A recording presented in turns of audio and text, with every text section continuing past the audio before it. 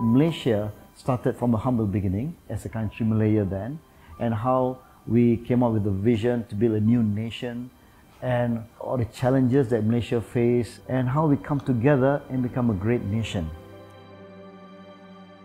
Going back to where it all started uh, with Negaraku, I think which is the soul of, of our country, our national anthem.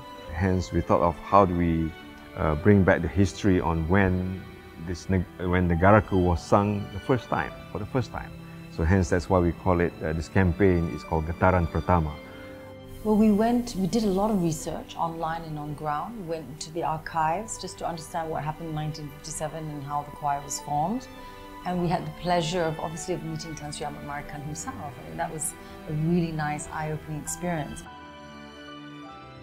We also met with the late Tony Fonseka's family. He was the co-founder and the conductor of the Merdeka Choir.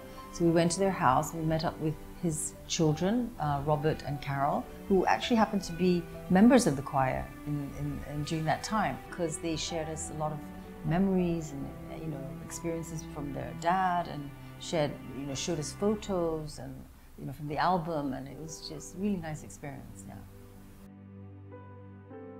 it's a beautiful story inspired by Tengku to create a multiracial choir because to him he wanted to show Malaysians coming from all walks of life and to him it was it was a reflection of our harmony as a country and also marked the journey to our independence.